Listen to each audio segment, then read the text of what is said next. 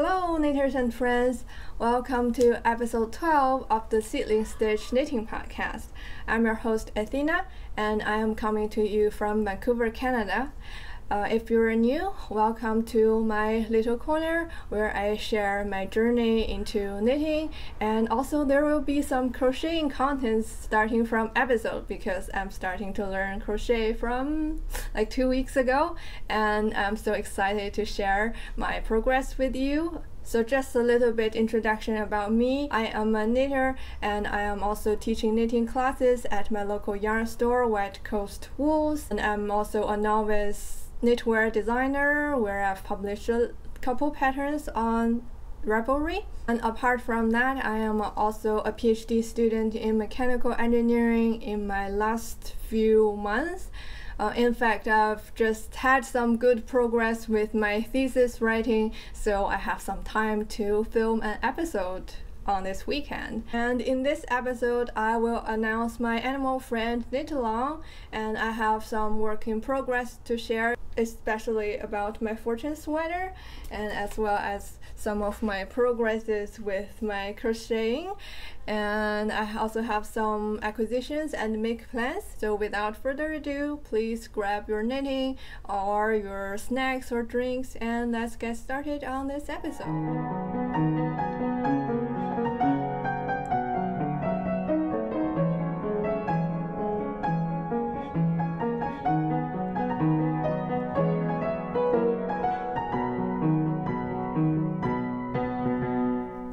So first, I am going to announce my animal friend knit along.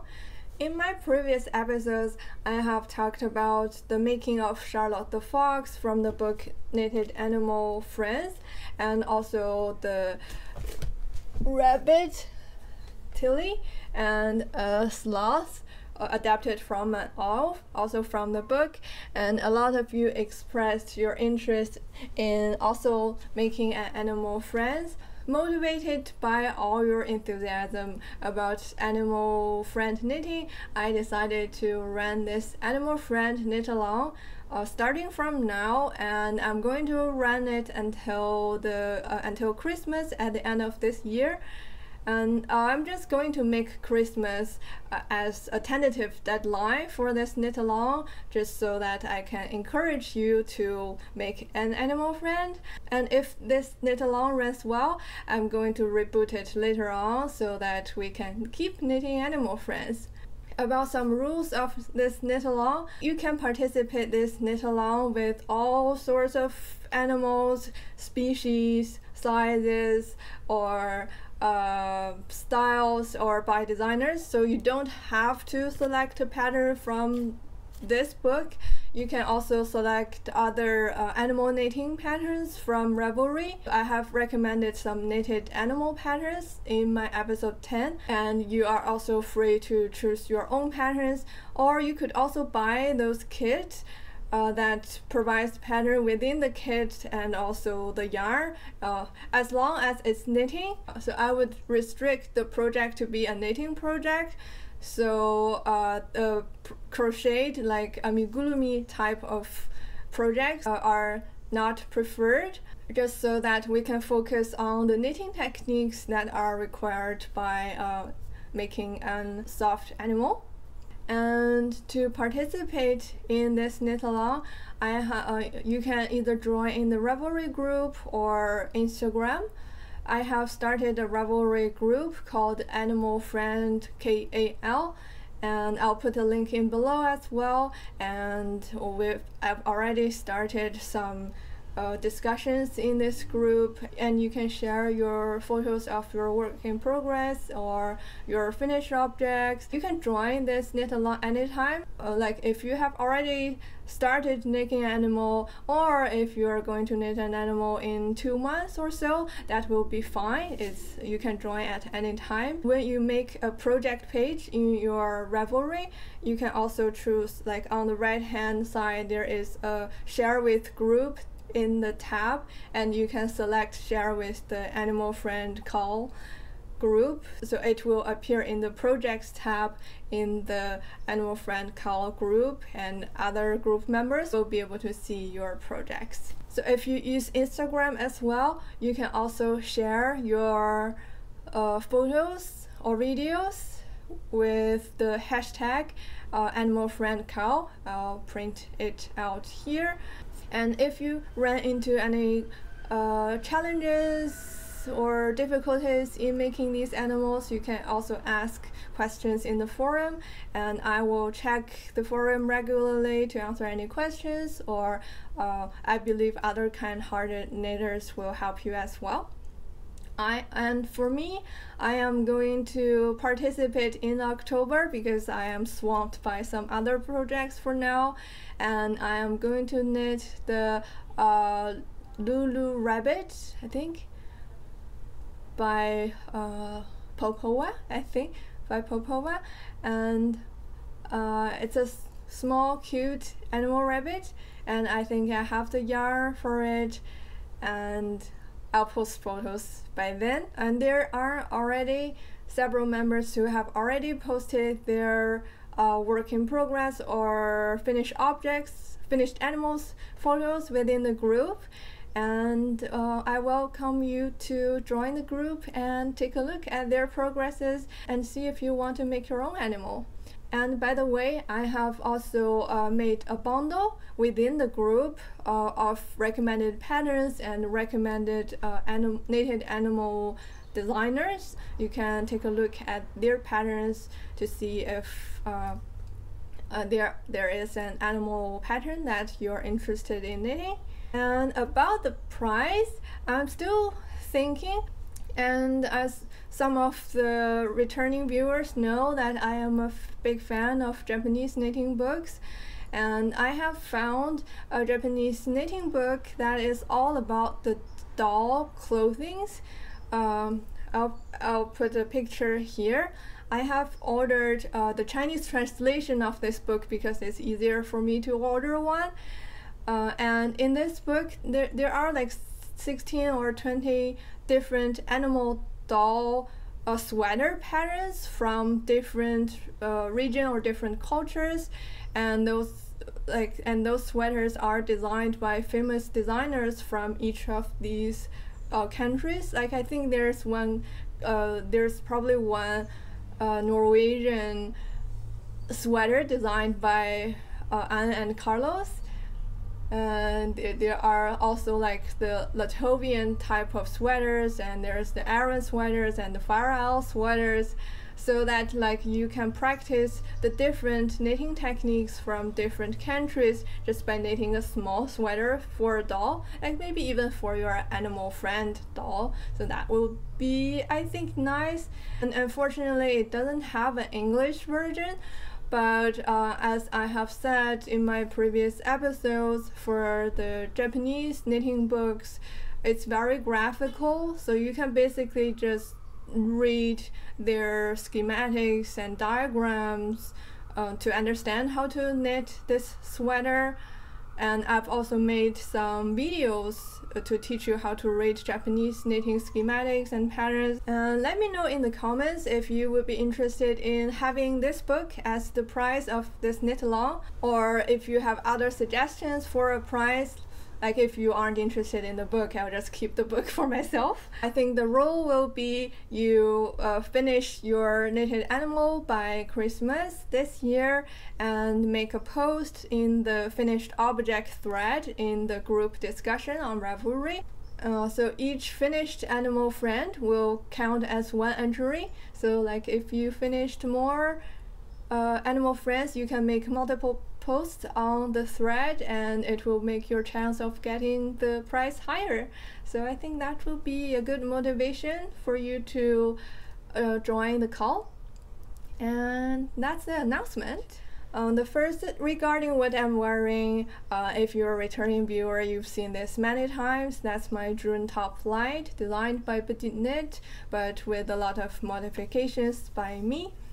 And there's only one more thing I want to show you from last time. I added uh, this crocheted double chain to the back and I, uh, I sewed it between the two uh, shoulder straps because I find that this shoulder strap is kind of long and it's it sometimes it will like fall off like this and um, I just want to give it a bit more uh, stability on the shoulder strap. So I made this. And also uh, I'm learning crocheting so I wanted to try a crocheted cord instead of like a knitted I-cord thing like this. For this top there's a lot of I-cord bind off on all these edges. And if knitting is your thing you can knit like a three stitch I-cord to do this thing but I wanted to try a crochet I-cord and it's much faster than the knitting. This double chain cord is made with uh, like a crocheted chain but you have a long tail and each time when you're crocheting the chain uh, you wrap the crochet hook with the long tail once before you crochet the uh, before you make a crocheted chain with the working yarn. Uh, it's quite neat and I might make a short video on this technique later. So like if you need to make I-cord, you can substitute that with this double chain with crochet. And this cord is a little bit narrower than a three uh, than a three stitch I-cord, but they look very similar and especially for my use case, I don't need this cord to be super strong. I just need it to give it a little bit stability, a little bit of tension between these uh, shoulder straps. So I don't need the uh, the cord to be strong, but I want it to look good. So I think this double chain is a good choice. And now this shoulder strap won't come off easily, and I can wear this June top light with more confidence and that's all about this and we're going to move on to my crochet contents. So I, I've probably said before, I tried to learn crochet a while ago, uh, but I, I didn't carry on. And the, the issue back then was that I used some of those uh, thick wool uh, rustic yarn to practice and the friction is very strong so the yarn is not smooth and it's very hard to move around the crochet hook. And also the issue is that uh, I use the dark color of the yarn so it's very hard to see the stitches. So if you're learning some new fiber arts either knitting or crocheting um, you should try to use a smoother or uh, at least light colored yarn. So two weeks ago, I decided to give crochet a try again because I was back then I was doing some uh, like stockinette knitting and I was a bit bored and I want I just like have that very adventurous mood so I decided to try crochet again. So uh, the way I learned crochet is from a book uh, this is also a Japan. So this is a Chinese translation of a Japanese crocheting textbook. Uh, oh, and by the way, I found a seller on Etsy that sells Japanese knitting and crafting books. I think they offer almost all the Japanese books that I've talked about in the podcast. So I'll I'll put the link in below if you're interested in getting some of those Japanese uh, crafting books, you can take a look at that at the shop. And uh, if you read Chinese, I highly recommend this book. You just take a screenshot and try to find this book. And I'll link the Japanese version of this book below as well uh, if you are just interested in getting the graphs. And the good thing about this book is that so it teaches you like all the all the basic methods for like doing a chain and it has the photos as well as uh, the little like uh, cartoons. And just for me i prefer to learn from a book than like learning from videos because uh, like if you're watching if you're watching a video you have to uh, you always have to like stop and try to work the same thing. And then if you forget how to do something you will have to go forward or go back with the time bar. And it's not very convenient for me. And sometimes the perspective of the video aren't is not so good. And it's kind of hard to see where exactly did they put the hook in that sort of thing. But in the book you can control the pace of your learning as well as it's like using the symbols and the text description to show you how to do those steps exactly. And also I like a more systematic way of learning. So I want to know like how many stitches I, different stitches I need to learn. So like I need to learn the chain and then I need to learn the single crochet uh, double crochet half double crochet and that's the basic. And then and like for this book the first chapter is just to learn those basic stitches. And then it will give you a project to do. And this is like just a simple mat thing with this the basic stitches. And there's also like a more complicated one. And then the next chapter the chapter 2 it teaches you how to do like how to knit in the round and by the end of this chapter, it teaches you how to knit those beautiful like granny square or hexagon or circles. Uh, after that, it will teach you the more complicated like increase and decrease stitches, the cluster stitches, and the popcorn stitches. And after that, you will be able to like make more complicated projects like these lacy mats and this beautiful color. And then it also teaches you how to do like color work and how to make a granny square blanket by linking those granny, granny squares. So it teaches you all these relevant techniques until uh, finally uh, you will be ready to make a crochet garment like these. And at the beginning, it, it gives you a symbol chart for what all these crocheting symbol means. So just two weeks ago, I started to work the chapter two, like uh, crocheting in the round of this book again. And the first thing I did was just this little circle made with single crochet stitches and then I make a bigger circle with this uh, double crochet stitches.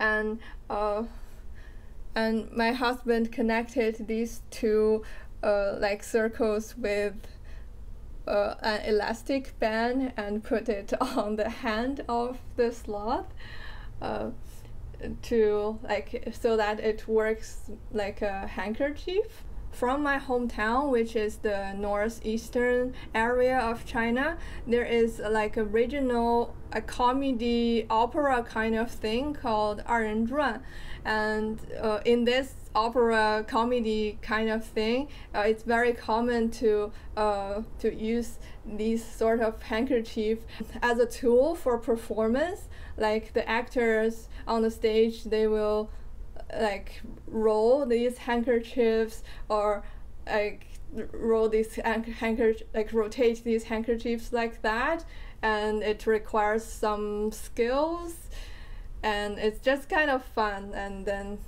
we decided to put this uh, handkerchief on the slot. it's kind of cute after that point, I learned to crochet in the circles and then I decided to do a granny square and this is my first granny square and I just followed a pattern from the book. Uh, it is a very basic granny square made with only double crochet stitches and uh, some crochet chain. And this time I used the uh, Sheepy's Katonah yarn, which is a like, uh, which is just a cotton fingering weight yarn that I got for like my animal clothings and this yarn is uh, so much easier to work with. If you want to start learning crochet, I would recommend some like smooth 100% uh, cotton yarn to start with. And also I would recommend you start with some like granny square. And another motivation for me to learn crochet is uh, because of the uh, Woolly Witchcraft knitting podcast by Brogan. And in her uh, latest podcast, uh, I, I will link the, the podcast below. Uh, I, I really love her podcast, highly recommend, but probably you've already seen her. And, and she is a longtime crocheter and she started learning to knit like one year ago ish. And in her recent episode, uh, she was showing some crochet projects. She showed like a crocheted basket, and she said she finished making the whole basket uh, in the morning, and it's like a big basket, and and it looks pretty good. And she also showed her idea of making a sunflower cardigan, I think, and she was just crocheting some sunflower uh, granny squares and she had some plans on how to connect them together and made them into a, uh, into a cardigan. And it, it it's really pretty and I and I immediately want to try to make a sunflower uh, granny square myself as well. So uh, I so I read into chapter 3 and 4 into this book to learn the increase, decrease, and the cluster stitches, and I thought I'm ready to do a granny square, and then I made one. Hey! so this one is made with double crochet stitches and some cluster stitches for the orange and yellow, and then on the outer uh, green layer, they are made with half double crochet uh, double crochet and treble crochet. So there you have it. Um, for this one I I I don't have the yellow yarn in the Katona and I just had some scrape uh, yellow yarn from my uh, sock yarn and just enough to make this one granny square. And I'm thinking to give these uh, squares as gift for my uh, supervisors in for my PhD. I have three supervisors, so I have yet another granny, different granny square to make. But like now that I really like this sunflower uh, granny square pattern, I want to make more.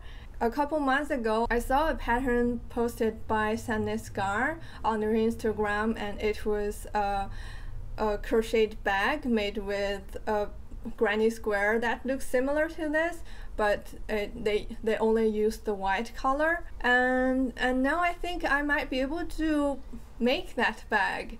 And I just kind of got obsessed with granny square bags. So I, I don't want to buy new yarn just for making this bag. So I dig into my pile of my grandma's gift yarn and found some a color that could make a sunflower granny square. And here they are. I have made two and a half of these. And these are like a true granny square made with 100% grandma's yarn.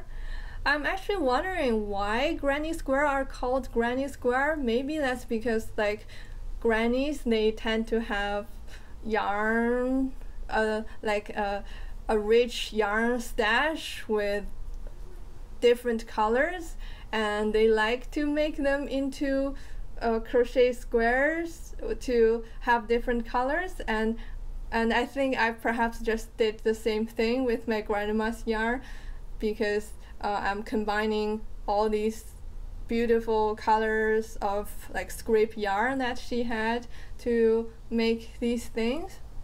I'll show you the yarn.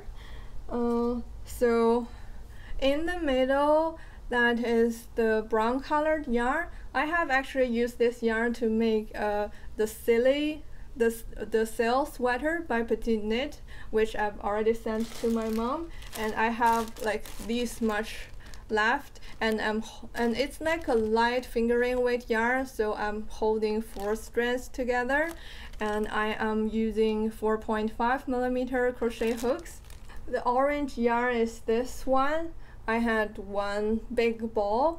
Uh, previously, I was planning to use it to make a like a fox scarf, but I haven't had the time to do that. So it's like a I think a, a acrylic yarn. It feels like. So I'm just holding one strand of this yarn. It, it seems like it's in worsted or Aran weight. So that's for that's for the second layer. And then the third layer is the yellow. Uh, I don't have those bright yellow colored yarn. The closest yellow color yarn I could find was this one, a fingering weight. It feels like a woolly yarn from my grandma and and she had a lot of this yarn. Um, I, I didn't particularly like this color, but it seems nice to fit into these granny squares. So I think I found a good place to use it. So I'm holding three strands of this uh, like fingering weight yarn together uh, for the third layer of the petals of the sunflower. And then the like the background, the fourth layer, I use this pine green-ish yarn. I only have one ball of this, so I don't know if that will be enough for making the buttercup bag by Sar. Um, because in the butter buttercup bag, I'll also need to crochet an edge of the bag with the same color as the background as well as the strap. So I it's probably not gonna be enough but I'll probably find some other yarn from my grandma's stash um, to make the bag. So now I'm just crocheting these squares and then I will link them together when I accumulated enough square. And I really enjoy making these granny squares because like when you're doing granny square, you are you are only poking your crochet hooks in in these big holes instead of like into the stitches. So it's easier to do. And for changing off color in a in a new round I will just like leave the end like this. And when I'm uh, crocheting the new color I will just weave in the end as I go uh, at the moment, I'm enjoying learning crochet a lot and I can see myself doing a lot of crochet as well as a lot of knitting. And I've already had a lot of plans for future crochet projects. I think crochet is really good for making bags and like hats, like those things with a stiff fabric. Uh, I I don't think I enjoy crochet for making garments I would prefer knitting for like making a sweater or something. And uh, I have uh, and since I started learning crochet, I have been looking at yarns that are good for crocheting, and then I found the raffia type of yarn, which is like a grass or like paper-ish plant-based yarn, a stiff uh, a plant-based stiff yarn that are good for making straw hats or bags. And though I've seen some tutorials for those raffia hats or raffia bags and I kind of got obsessed with it. So I ordered some raffia yarn from China that I wanted to try and I also found a book for making raffia bags a Japanese knitting book. And I have made that order. And the best thing about this book is that you can customize your own bag. You can select which uh, bottom pan which which shape of the bottom panel you want and you can select a pattern for the body of the bag and then you can select what kind of strap you want for the bag and uh, and then combine them together to have your own bag so like there are a infinite number of possibilities that you can get from the book. So uh, it's it's just uh, like being customizable is something that I really like. So I've ordered the book and I'm hoping my raffia yarn to re- to arrive soon, but I know they will arrive in probably October like in autumn or winter and then I will be making uh, bags for next summer and it will be it will be fun and I I I will I will show you my progress by then. And just a question for you. Uh, I, I think in the future I will also have some crocheting contents. Uh, if you are more interested in the knitting contents, uh, let me know and then I can like put all my crochet in uh, the last section so that you can jump through that. Or uh, tell me what you think about the crochet contents of my channel. And and I also have a question for crocheters. Among you as an experienced crocheter do you also use those graphic patterns or you are more comfortable with those written instructions or you use both. And if you don't use the pattern with the symbols but would like to learn about it also let me know. Maybe i could make uh, like a japanese crochet mini class in the future just to explain how to read those charts in the future. And being a beginner crocheter myself, I'm all I'm starting to plan my beginner crochet class at the yarn store. So that's a bit crazy, but I think it won't be long before I can start this crochet class uh, because I've been pr practicing crocheting very hard and I think I'm making some fast progresses. So yay for that. And other finished object for me, there's just the boring one. I made another my no frills toe up socks and this is for my French intern who have been helping me in the lab for the whole summer. So she deserved to have a gift and she's the lover of beautiful socks. So she will have this. And the and the new acquisition is this sock blocker that I just got yesterday at the yarn shop. So I basically finished teaching a sock knitting class and then I used what I earned for buying more stuff for sock for sock knitting. So uh, it, it's good. it's like uh, financial sustainability for myself for my knitting career. It's uh, and and now I can be like a professional knitting YouTuber with these sock blockers. And while at the yarn shop, I also rewarded myself with a sock yarn. And this is a new arrival at the yarn shop. It's a series of self-patterning sock yarn with fruit themes.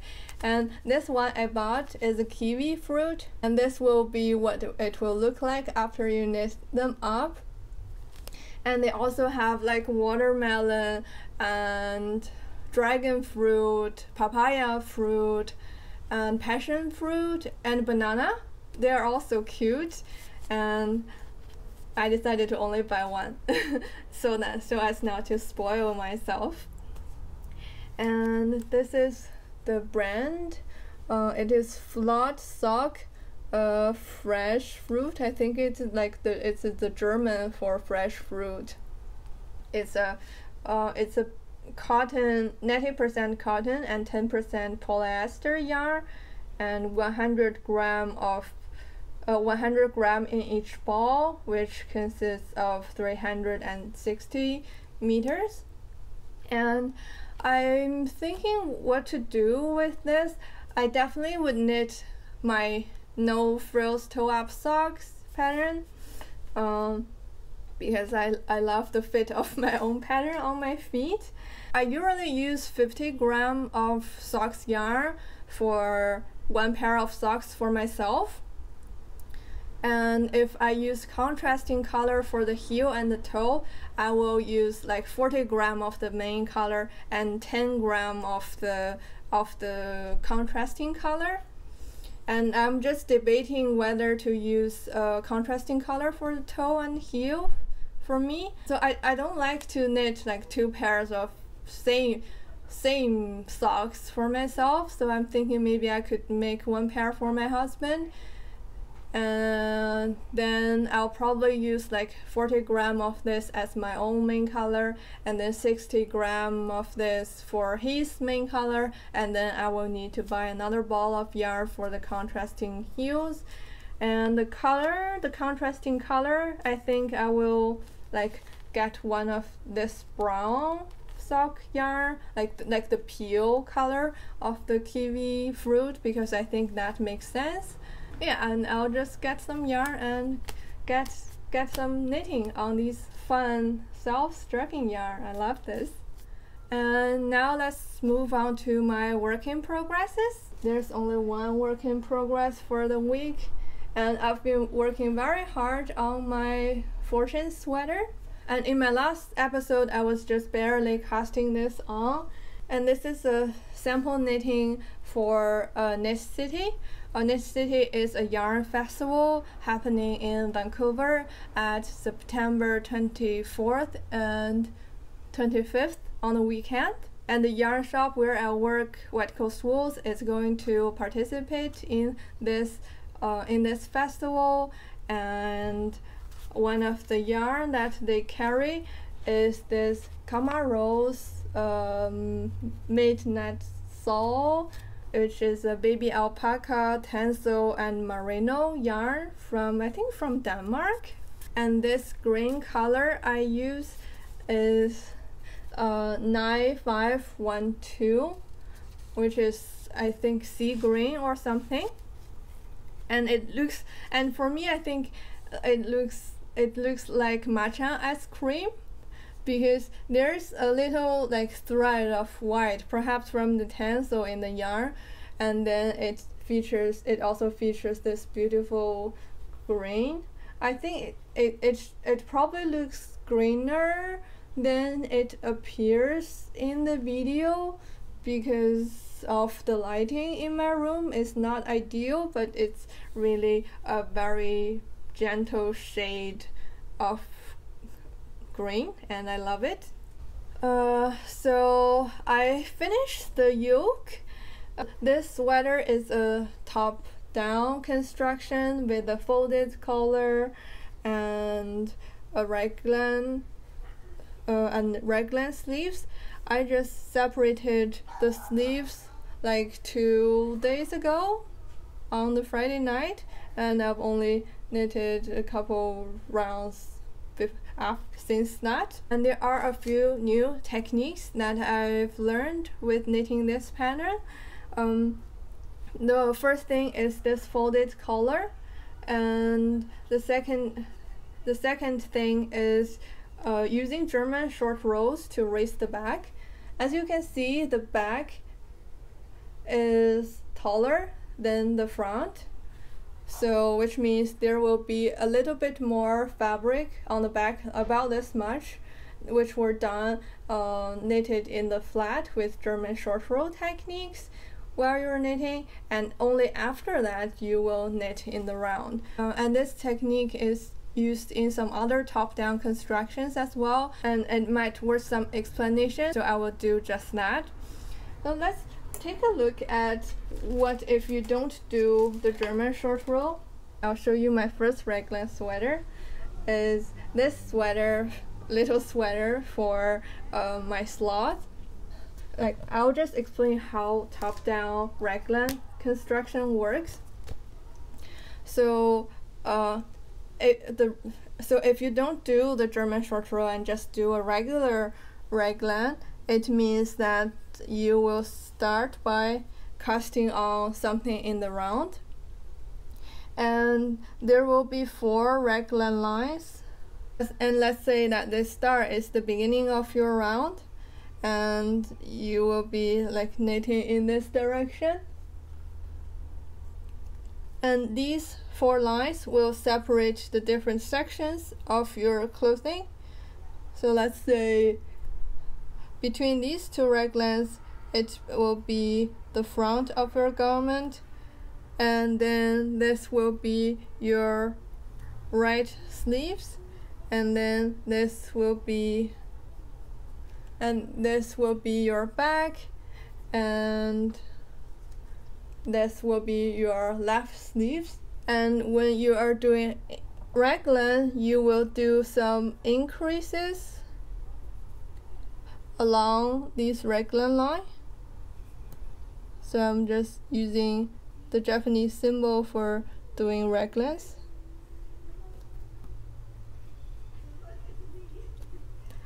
So the re raglan stitch is just one stitch that you knit regularly, and um, whenever you meet a raglan stitch, you will uh, increase one increase one stitch along uh, on the right side of the stitch and you will increase another stitch on the left side of it. Uh, just so that as you so just so that on every round you will add eight stitches. And in, in these Euro raglan constructions, you will do one round with increasing 8 stitches and then another round without increasing any stitches just so that every two rows you will be increasing 8 stitches in total. And as you do this uh, again and again the circle that you knit will be bigger and bigger.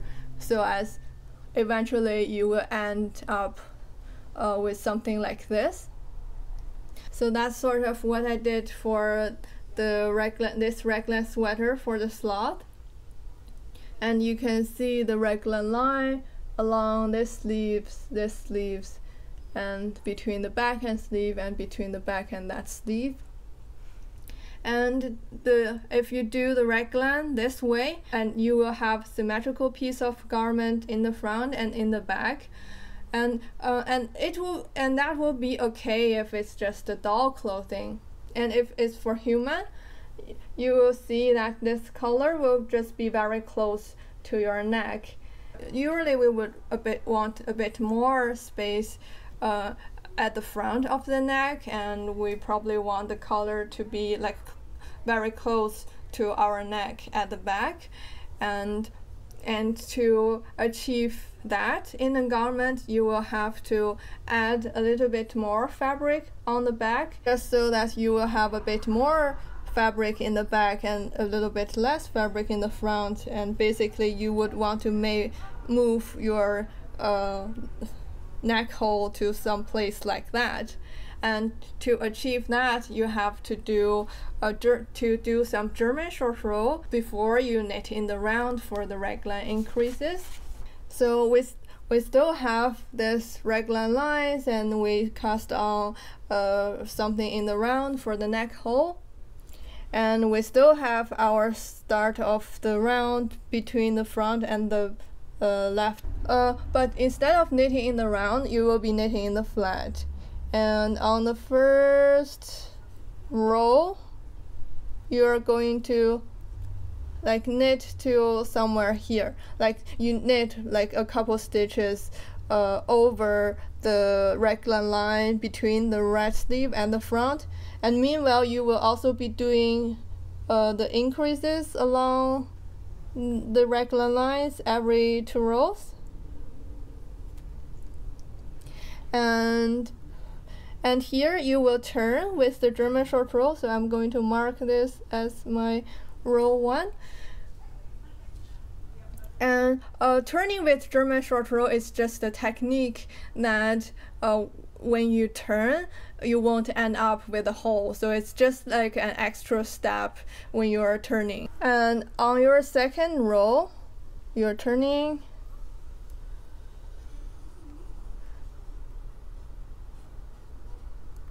you're going to knit like a couple stitches beyond uh, your first row so I'm marking that as my row 2 and then on your row 3 you're turning again with German short row technique. On your row 3 you're just going to knit a couple stitch more than like where you pro where you previously finished. So that will be your row 3 and then you go from here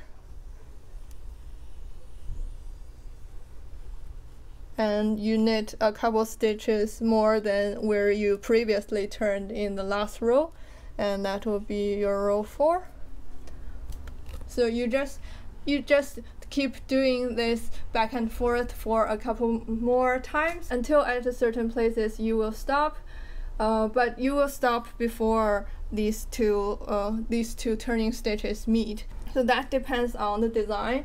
And as you do this, you can see there will be more rows on the back and there will be no rows, no extra rows in the center part of the garment. And this way, as some designers say, you will be raising your back. So this is how much your back is raised.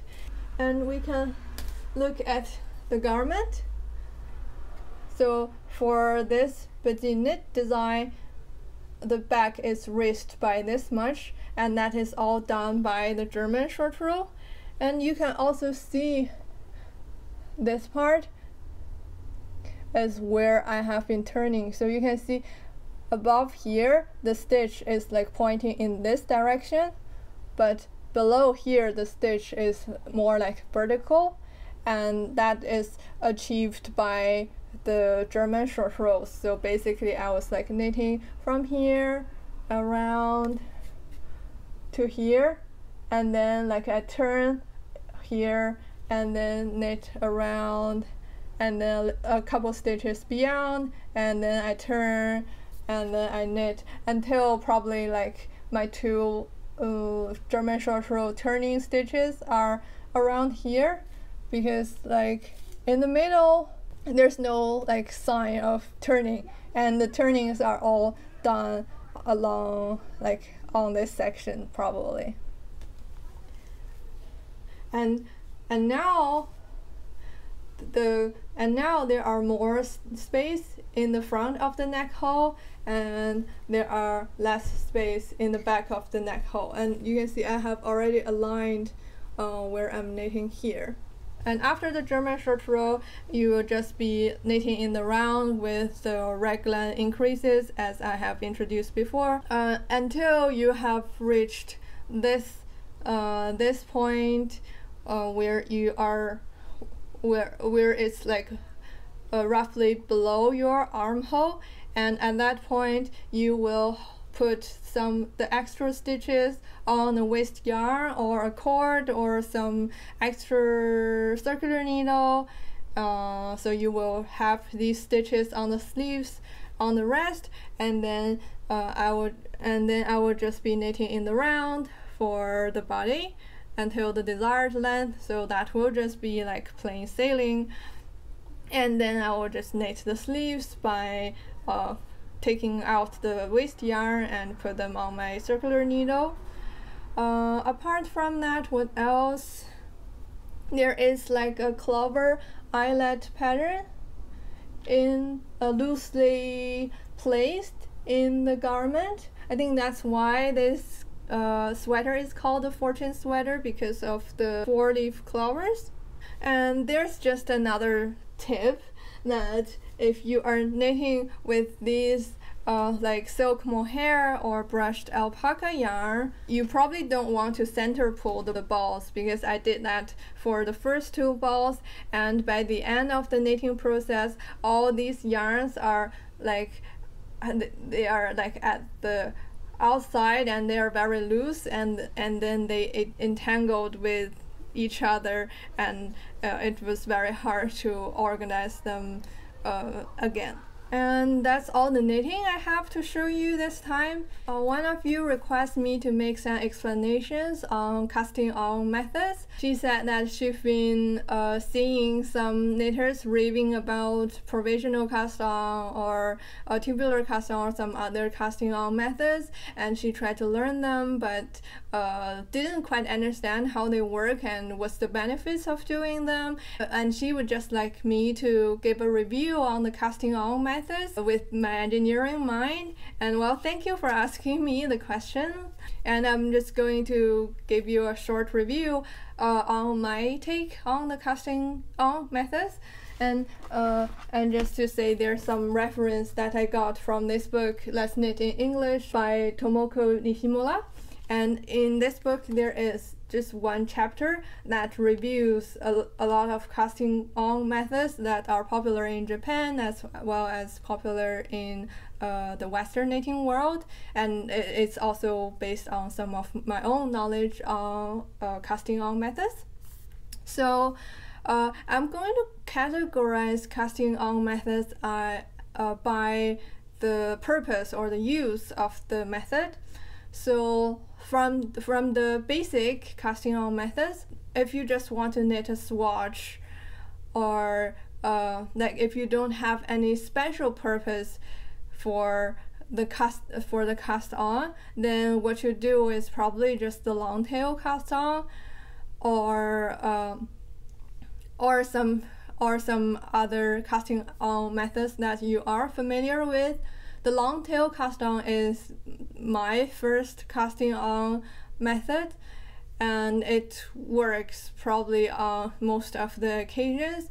And if and if your use case is not of any of the cases that I am going to talk about, then you will just use long tail cast on. There, there's no uh, problem with that.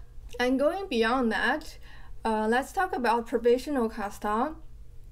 Provisional cast on is not any spe specific casting on methods. It's actually like a family of casting on methods. By provisional, it means that you will not be keeping the casting on edge it's like you will unpick or uh, do something with that casting on edge so that you can like maybe knit in another direction, which is like a common use for provisional cast on. And any casting on methods that can achieve that goal, it will be called provisional cast on. And one of the most popular provisional cast on methods is the crocheted chain cast on where you crochet a chain and then you pick up stitches from the like the purl bump from the crochet chain and you knit uh, above and afterwards you will um, you will take out your crochet chain and pick up the stitches uh, along that line and then you will perhaps knit along the other direction. I've used this a couple times for my Provence top. I was playing a game of yarn chicken so uh, I basically crocheted uh, so I basically did the provisional cast on at the middle and then knit towards the top and then I knit down uh, and after I finished the yoke I knit uh, downwards uh, so that I can decide how long my garment is going to be.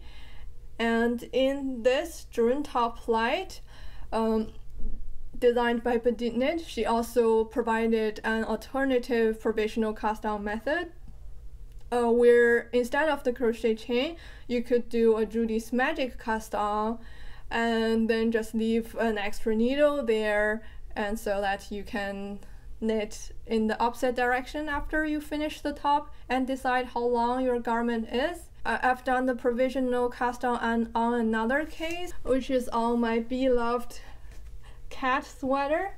And just according to the design, you will do the provisional cast on at this edge and do the intarsia knitting above. And then uh, you will unpick the provisional cast on edge and then do this a beautiful a cable hem. I think the pattern asks you to do that way might be it might be because like some orientation of this cable it must be knitted top down instead of bottom up. Uh, I guess. And there's also one provisional cast on method introduced by this book called invisible cast on, where you sort of just wrap a, an extra yarn. I'll just show you the finished result. So you sort of just wrap a, like a waste yarn tail into your cast on edge and later when you just pull out this extra waste yarn and then you can knit to, into the other direction. Uh, I, I'm not sure if there's like a video for this. There, there probably there must be. And this is called the invisible cast on. And I think I would like to try this for the next time if I need to do a provisional cast on.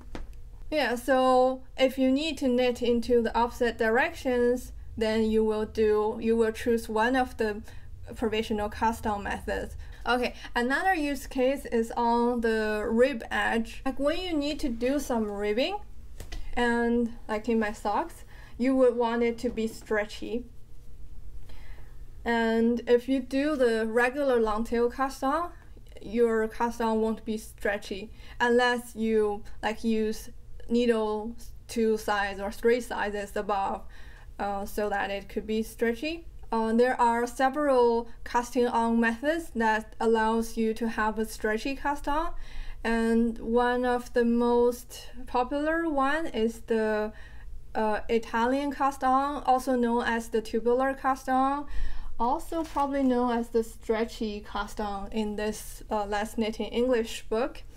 And I can show you what it looks like. And it will maintain the shape of the rib like this. And just for contrast, this is my Niigata scarf, and this one I just use the regular long tail cast on, and the edge looks like this. Whereas the tubular cast on, it looks like this. And it's very stretchy. Uh, there are other ways that you can make your cast on stretchy. One of them is the German twisted cast on it's kind of similar to long tail cast on, but you wrap the yarn some extra times so that there's a little bit more yarn between your cast on edges. But uh, the German twisted cast on looks similar to uh, the long tail cast on, so it will have like this edge instead of uh, a shape of the rib if you are knitting some ribbings and you want it to be stretchy, you can select one of the methods that allows for a stretchy cast on. And depending on how you want the casting on edge to look, like whether it's more harmonious or it's more visible, then you can select the Italian cast on or the German twisted cast on. And I believe there are other casting on methods that can give you a stretchy edge as well, but these are the two uh, methods that I know. And there are other cast-ons that allows for different shapes. Like there's the I-cord cast-on. Uh, if you if you want to cast on with an I-cord already there, there's the method of I-cord cast-on. And there's the picot edge cast on where you cast on with already with an picot edge and I just learned last week from Margot at the yarn shop that there is a casting on method called uh, Channel Island cast on. You can go search for that. Uh, it also gives you a similar thing as a picot edge, but it's a, a smaller picot. It's more like a, a bean sized, like a smaller sized picot uh, cast on, which is also kind of fun. And there's another uh, family of cast on where I would say it works as an increase as well. So it will increase a line from uh, an already knitted piece. I'll explain what it means. For example, let, let's look at this little shoe of my rabbit. Here I need to have a shoe lace and for that I could use the, the these casting on methods to cast on or increase some stitches so that I can uh, I can have some extra stitches and knit this into the shoe lace. And to do that, there are two common methods. One is called the backward loop cast on, and another is the knitted cast on. They both allow you to just have a have some new edge on some old edge it, this is also what I do below the armhole. So here, after I separated the sleeves, I use the backward loop cast on to cast on like a few stitches here just below the armhole. And this is very common for knitted uh, for top down knitted sweaters. Like they usually ask you to use the backward loop cast on to cast on a few stitches uh, so that you will have a better fit for your arm armhole. Yeah, and that's my take on the casting on methods. What's your favorite casting on methods? And is there any other casting on methods that you would like to recommend to the uh, to other knitters? Leave a comment in below. Uh, and for next episode, I have a very special guest. Uh, I have a friend from high school, and she and she is an all-round maker. She does like knitting, crochet, uh, embroidery, and uh, a little bit of sewing. And she's um, and she's visiting Vancouver in like two weeks, three weeks, and we're going to film an episode where I show all of her uh, fiber art projects, and I'm very excited about that. And that will be all the contents for this episode. Thank you for watching and taking the time to knit with me. If you enjoyed the episode, please like, comment, subscribe, put a thumbs up. Uh, this will help me to reach more knitters. And I'm really enjoying building this uh, welcoming uh, knitting community uh, with all of you. If some of the tips and tricks that I talked in this episode were helpful for you, please consider uh, donate on my Ko-fi page, ko-fi.com slash seedlingstitch. You can buy me a coffee or become a monthly supporter so that I can have more time to produce more contents more regularly. Uh, all the projects and my design patterns are available on Ravelry.